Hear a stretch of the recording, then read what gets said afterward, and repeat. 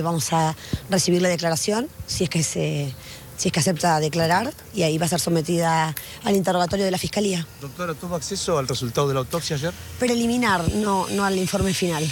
Pero puede repetir en todo caso de la autopsia. Y que solamente tenemos el preliminar, que nos da, habla de, de, la cantidad de lesiones que tenía el cuerpo y del edema cerebral que provocó su muerte, pero no tenemos el informe final que esperaba contarlo, pero bueno, un poco, estaba un poco ansiosa por tenerlo, pero no lo vamos a poder tener todavía para, para el día de la fecha. Quizás se va a demorar un poco más, tenemos, tienen mucho para informar los peritos, había muchas lesiones en el cuerpo eh, y necesitamos también eh, las fotografías y todo eso que que viene de la mano de la autopsia y que a nosotros nos es de gran importancia para, para establecer...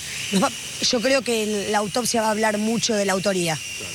Doctora, ¿se sabe si las lesiones eh, las tenía en dos momentos diferentes?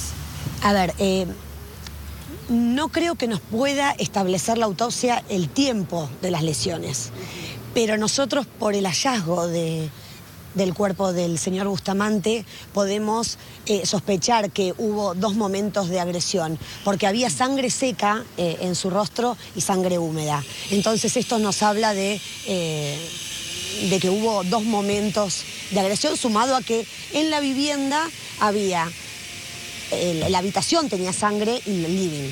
Entonces son dos escenarios de violencia. ¿Las lesiones pueden haber sido con diferentes elementos o con uno solo directamente? Desconocemos porque no tenemos secuestrada el arma homicida. En principio sospecharíamos que fue un elemento eh, contundente, eh, con punta, porque eh, algún filo tenía, pero no lo tenemos incautado.